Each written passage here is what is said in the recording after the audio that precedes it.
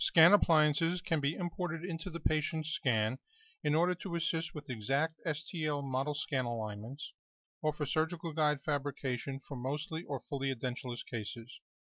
Prior to importing the scan appliance, open the patient's case.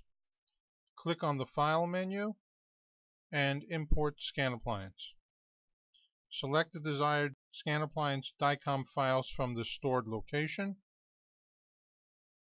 Click OK and then in the Select DICOM Series window, click OK once more. Crop the scan appliance images using the appropriate sliders in any or all of the three views. This will help with the merge and limit memory usage. Click OK when done. The Scan Appliance Merge window will appear. In most situations, the software will merge the scan appliance to the patient's scan automatically, with both sets of markers coinciding in the bottom right merge view. If both sets of markers do not appear aligned in the final merge view, adjust the density sliders at the bottom of the views so the images are more distinct.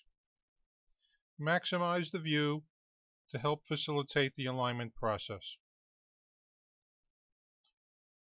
Click on the dropper tool, then hold the shift key and click on the markers in both upper views.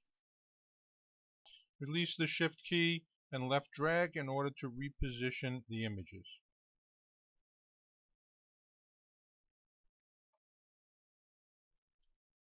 Click the Align Points Only checkbox, Update, and then OK. It is recommended to use Dental Mark for cone beam CT markers for quick and accurate merges. The scan appliance will appear in position superimposed on the patient 3D scan. Once the scan appliance is imported into the treatment plan, addition functionality can be used. Double-click on the scan appliance in the 3D window. This will open up the Surfaces panel on the right click on the visibility checkbox to toggle the scan appliance on or off in the 3D view. Click the hint checkbox to see an outline of the scan appliance over the 2D images. Click the color box in order to change the color of the scan appliance. If it is necessary to realign the scan appliance manually, follow these steps.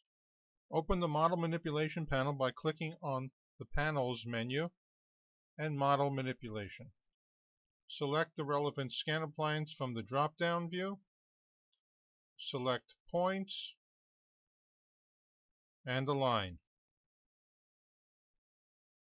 In the window that opens, select the markers in both the scan appliance and patient scan by holding the Shift key and left click on each marker.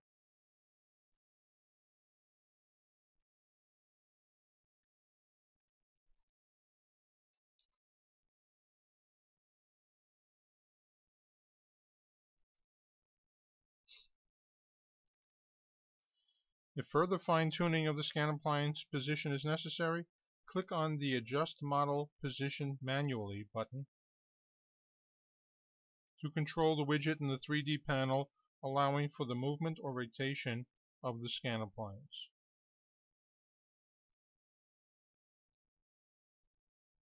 The scan appliance position can also be moved in a very precise and careful manner by using the arrow keys on the keyboard to move the scan appliance in any direction. Hold the Alt key while pressing an arrow and it will rotate the scan appliance in the relevant direction.